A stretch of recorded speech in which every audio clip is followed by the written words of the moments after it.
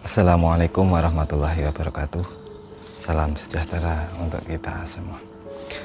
Bagaimana kabar Anda hari ini? Semoga diberi kesehatan dan keberkahan selalu oleh Allah Subhanahu wa taala. Dan saya ucapkan uh, terima kasih bagi teman-teman yang sudah subscribe di channel saya ini. Semoga apa yang saya sampaikan dapat memberi manfaat bagi kita semua. Amin. Ya. Perlu kita ketahui bahwa untuk mempelajari hal-hal spiritual dibutuhkan yang namanya seorang guru. Anda tak mungkin bisa mempelajari ilmu spiritual tanpa adanya seorang pembimbing. Inilah pentingnya uh, seorang guru spiritual yang nantinya bisa memandu Anda uh, untuk mempelajari ilmu spiritual sekaligus membimbing Anda dalam kehidupan. Biasanya setiap orang bisa saja uh, sudah mempunyai guru spiritual atau pembimbing, ya termasuk Anda. Apalagi bagi Anda yang memang sangat menyukai sesuatu yang uh, berbau supranatural atau spiritual. Namun perlu Anda tahu juga bahwa untuk belajar ilmu supranatural tidak semua orang cocok atau pas dengan seorang guru pembimbing tersebut. Bisa saja Anda tidak cocok dengan guru spiritual tertentu. Sehingga Anda pun mencari guru yang lain. Jika Anda masih juga tidak cocok lagi, maka Anda pun mencoba beralih atau mencari kembali. Dan begitu seterusnya sehingga Anda benar-benar mendapatkan guru yang cocok dan yang sesuai dengan kondisi Anda.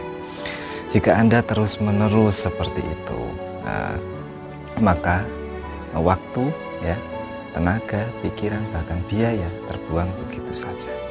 Bahkan Anda mungkin tidak bisa menemukan guru yang tepat bagi diri Anda pribadi. Karena setiap orang memiliki tingkat kecocokan yang berbeda eh, antara satu sama lain terhadap guru spiritual tertentu. Nah, untuk mengantisipasi hal tersebut, saya akan memberikan arahan kepada Anda apakah eh, Anda benar-benar cocok mempelajari ilmu atau menggunakan layanan produk saya ataukah tidak.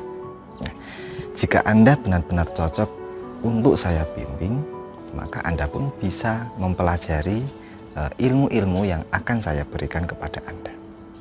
Atau Anda bisa juga menggunakan eh, layanan-layanan produk dari saya yang bisa Anda pakai sebagai sarana spiritual. Hal ini perlu Anda lakukan agar Anda tidak salah dalam memilih guru dan saya pun tidak salah membimbing seorang murid. Dalam menggeluti dunia supranatural, metafisika dan juga ilmu hikmah. Saya juga menemukan beberapa murid ya atau klien yang bisa dikatakan tidak cocok dengan saya atau kurang berjodoh sehingga ia kurang bisa e, merasakan manfaat atau mendapatkan khasiat dari ilmu atau layanan yang saya berikan. Ya, dan itu hanya beberapa saja. Lalu, e, mengapa bisa mereka tidak cocok dengan saya? Apa yang menyebabkan mereka tidak bisa saya bimbing? Ya, faktor penyebab utamanya adalah kurangnya keyakinan terhadap saya sebagai seorang guru spiritualnya dan sebagai guru pembimbingnya. Nah, ini adalah faktor utama, faktor kunci ya. Keyakinan dan kemantapan hati sangatlah penting untuk bisa mempelajari dan mendapatkan manfaat sarana atau ilmu yang saya berikan nantinya. Ketika mereka tidak yakin dengan saya, maka akan sulit mendapatkan keberkahan ya, dan tidak bisa memperoleh faedahnya. Kalaupun mereka bisa mendapatkan, biasanya hasilnya kurang maksimal.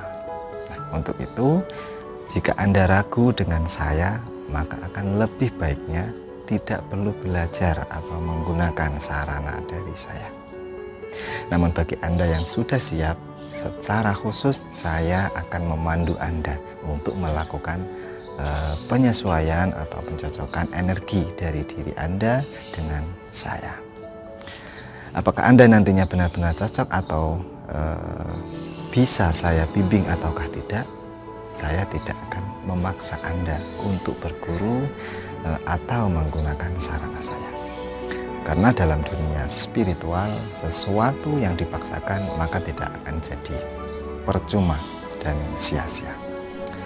Berbeda ketika Anda benar-benar sudah bersedia saya bimbing dan berkenan uh, untuk saya arahkan serta yakin dengan saya, Anda pun tidak perlu melakukan pencocokan atau penyesuaian energi diri. Insya Allah Anda uh, sudah bisa mendapatkan keberkahan ilmu dari saya. Anda bisa memperoleh manfaat dan khasiat dari apa yang saya berikan nantinya, bahkan bisa melebihi dari apa yang Anda bayangkan. Perlu diingat juga bahwa salah satu kunci terpenting keberhasilan dalam mempelajari ilmu spiritual adalah yakin. Semakin Anda yakin dan mantap, maka kemudahan Anda dalam mendapatkan keberkahan suatu ilmu bisa Anda peroleh. Begitu juga sebaliknya. Nah, mungkin itu dulu yang bisa saya sampaikan kali ini. Jika masih ada pertanyaan, silahkan tinggalkan komentar di bawah atau hubungi nomor kontak yang sudah saya cantumkan di deskripsi video ini. Sekian dari saya, semoga bermanfaat. Wassalamualaikum warahmatullahi wabarakatuh. Salam sejahtera untuk kita semua.